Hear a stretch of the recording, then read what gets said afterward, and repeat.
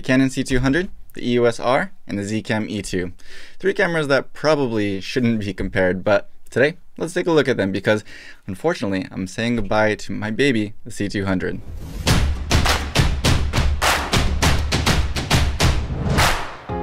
Hey, this is Scott and welcome to my channel. If you're new here, thank you for watching and please consider subscribing to see more content in the future. I will have a lot more content coming on this camera right here, the Zcam E2, as well as the Zcam E2 F6 when it's released in the fall, and maybe even some more content on this camera right here, the EOS R. But sadly, I've decided it's time for me to part with my beloved C200. Uh, so today, I just want to talk a little bit about kind of what led me to that decision. I'm not going to say that any of these cameras are better or worse than any of the other ones, and I'm not going to go in depth to talking about which one has better image quality or things like that, uh, which one has better noise performance. Um, those things I think you know are going to depend a lot on the user, depend a lot on the scene, and a whole lot more. But today, I just want to talk about some of the factual differences between these cameras and kind of how they play into different uh, applications and why this may be necessary for some people, but for other people it just may not be. And the EOS R or the Zcam E2 or a combination of those or a combination of other cameras could cover those bases that the C200 uh, may do well, but may also not be necessary for.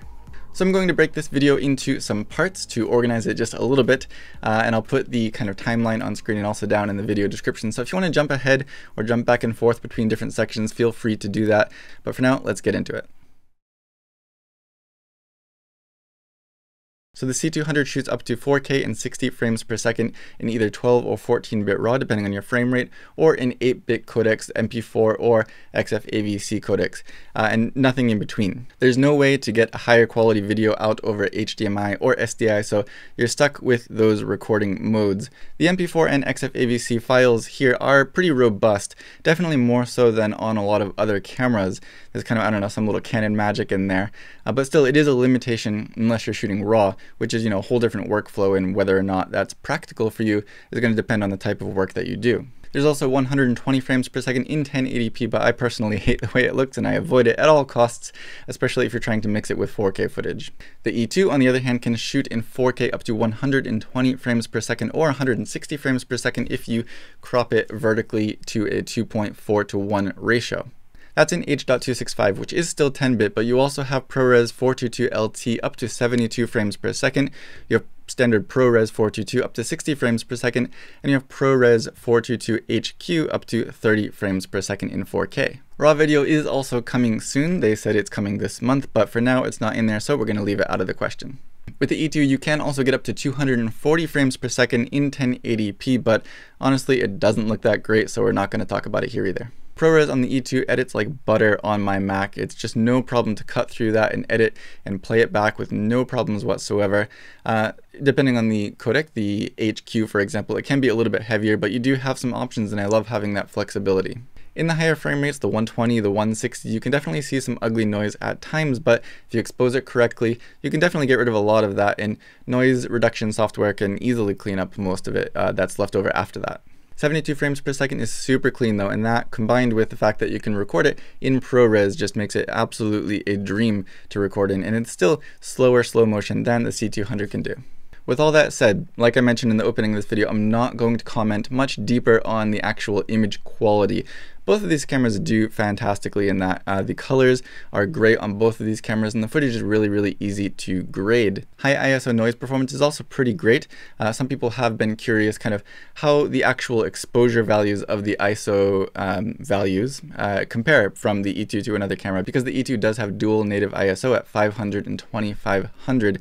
But some people are curious, you know, does that 2500 equate to 2500 on a camera like the C200? So uh, just to kind of draw a comparison between that, not in terms of actual performance, I'm just going to see where uh, the exposure of a gray card falls uh, at 2500 with, you know, the same settings on both of these cameras. And I'll show that on screen now, just so you can see if 2500 is actually, you know, the low light performance that you would get out of the C200 at the same settings. Dynamic range in RAW on the C200 is of course going to be a bit better and of course you get that 12 or 14 bit codec uh, with RAW footage here and that's going to be you know a bit more robust, it's going to have a bit more latitude than the Zcam will when you need it.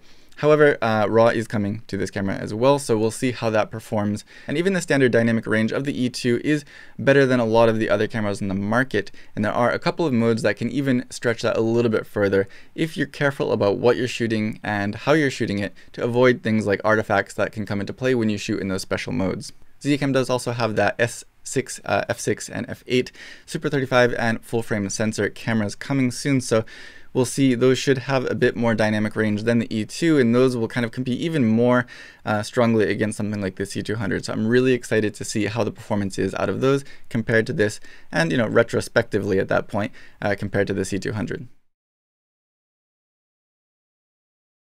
Now, the C200 is not a huge camera, especially for a cinema camera with so much power packed into it, but it's not necessarily small either, and it's not necessarily the easiest form factor to uh, rig up either on a shoulder rig or on a gimbal, for example. Just the kind of form factor makes it a little bit difficult, and of course, me having the standard C200, not the B version, makes it even a little bit more difficult. On a shoulder rig, you have the fan blowing in your ear most of the times, and sometimes it can be difficult to get it balanced or centered on your shoulder. You need to add like a heavy V-mount battery in the back as a counterweight, oftentimes to kind of make it work.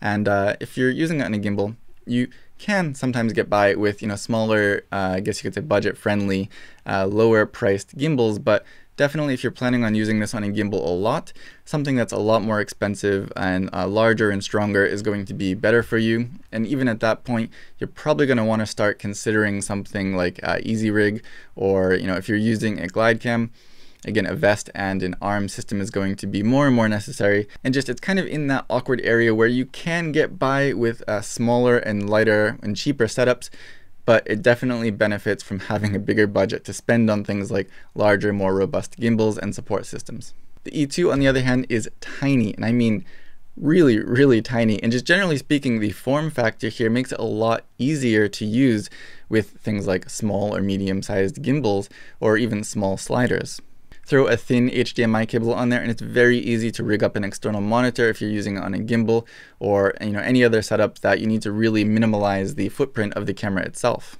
I did talk about the EVF a little bit and how it can sometimes get in the way. It's a little bit awkward sticking out the back of the camera, and that's not always an ideal location to have it anyway. But the fact is that there is an EVF built into this body, which means that if you have an absolute minimal, minimalist setup here, you can still see in uh, outdoor bright conditions by using just this EVF and you re retain all of the functions of the camera itself. And also if you don't want the EVF, they do have the B version available for a lower price. On top of that though, the C200 has a lot of controls and buttons and dials built into the body itself, which let you take control of you know any settings. You can change parameters, you can navigate the menu, you can uh, change you know your aperture, your ISO, you can do a lot on the fly without having to dive into any menu systems whatsoever. I will love and miss this on the C200. However, Despite the minimalist design of the E2 body, it's actually pretty easy to navigate and there's a decent amount of buttons that you can customize to what works best for you. So, so long as you have some time to use the camera and find out what functions you use the most and then you can program those to those custom function buttons, you can actually get by quite well with just the buttons on the body. However, if you combine it with something like this BM5 here, you can use this as a touchscreen interface for the entire menu system. And at that point, it just becomes lightning fast to navigate through the menu, which is also a pretty easy to use menu system. But you know, having this on here means you get touchscreen capability just like a native LCD. And it kind of makes it really, really fast. And the side effect of this is that if you are using E2 on something like a gimbal and you have the monitor mounted off on the side of the handle, you can still retain that touchscreen uh, ability to navigate through the menu without having to touch the camera itself. Now, the only way to do that with the C200 is if you're using the native LCD, and that presents its own difficulties because the cable is thick and rigid and not all that long, so it makes it a little bit tricky to mount that LCD anywhere on the gimbal. It's also not that bright, not that large when you're starting to get into that type of setup. And if you want to replace Canon's cable with a longer one, goodbye money.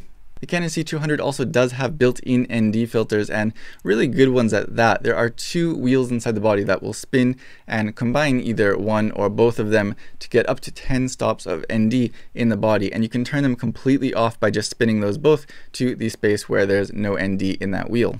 The E2 does not have NDs built in and I really really miss that To be honest though, if I'm shooting slow motion, I personally don't mind cranking the shutter speed a little bit to compensate that exposure. Uh, and the new E2 uh, S6, F6, and F8 will have E and D built in. It's not going to be quite as perfect or versatile as the built-in filters here, especially because you can turn these completely off without having to take anything out. But still, it's much, much better than just having nothing like there is in this E2 at the moment. In the meantime though, I have been loving the Canon EOS R for running gun stuff and having that adapter with the built-in Vari ND has just made it so much easier to shoot on the go. It's not perfect, you know, the adapter itself, if you dial it all the way to the strongest setting, it will really mess up the image. Um, but right up until just before that, you can get quite a lot of ND in there uh, without you know really affecting the image much at all. And you can dial it down fairly low. Uh, the little wheel on there to adjust it is stupid and small, but still it's been amazing for running gun stuff. For my personal use, it's been more than enough, and especially when you combine it with the Atomos, which I haven't done yet, but I'm going to do, it, it's just going to make a really, really powerful combination for on-the-go stuff. And even here in my studio in more controlled situations, you're going to be able to get a really nice image out of that. So that's kind of another big factor in why I'm getting rid of the C200. It's just the fact that the EOS R can do a lot of things that the C200 can do, and the E2 can do a lot of things that it can't do. But you know, kind of combining these two will cover most of my bases, and I can buy a Canon EOS R, the Atomos, and in the future, the E2 F6, all just by selling this and a couple accessories.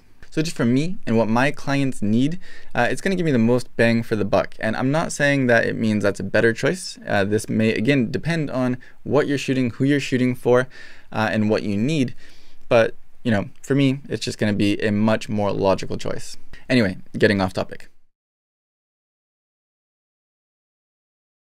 There are also some stupid issues with the C200, like the fact that when you put a tripod plate on the bottom of there, there is a little bit of flex. Even if you use two screws, it's kind of annoying thing, and it has been noticeable in some cases, not a lot, and it's never really caused a huge problem, but it is noticeable. But, you know, the E2 is rock solid, especially if you put a cage on there.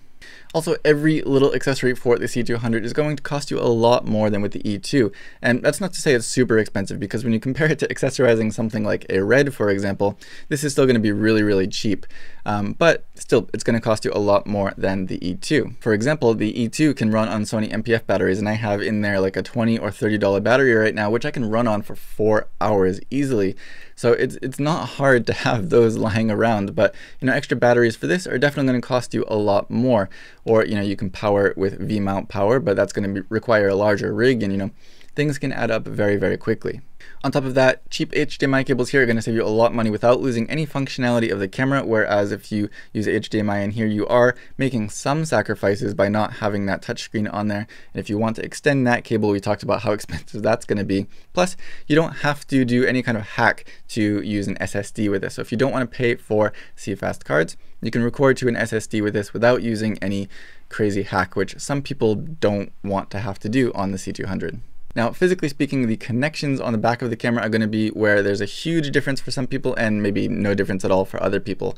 On the Canon C200, you have SDI, uh, you have two full-size XLRs, you have timecode and so on, all built into the body. And with the E2, you don't. On the E2, you do get a USB-C, which you can use for either recording or for monitoring or controlling the camera with your phone. You get a mini XLR, which does provide phantom power, you get HDMI, and apparently there's going to be some sort of SDI adapter at some point, but that's not the same. And it's the same story for timecode. There will be an adapter at some point in the future, but again, it's not the same as having them all built into the body. Now, like I said, that's going to make a huge difference for some and absolutely none for others, and you probably know who you are. I'm personally not one of the people who it makes a significant difference from. I will miss the full-sized XLRs and SDI, but it's not a deal breaker. This is one area that I will sorely miss from the C200 and anybody who says that autofocus is not necessary or not for professionals has never used the C200. For shooting myself, for shooting on gimbals or sliders, for interviews, the autofocus is crazy reliable. Maybe I wouldn't rely on it for super high end, you know, high pressure or, you know, overly planned shoots, but for me that's not really most of what I'm shooting. For what I shoot, I usually either have a second camera which can cover if the autofocus messes up on the C200, or I can redo that shoot, or it's just something it's not all that critical like these YouTube videos, for example.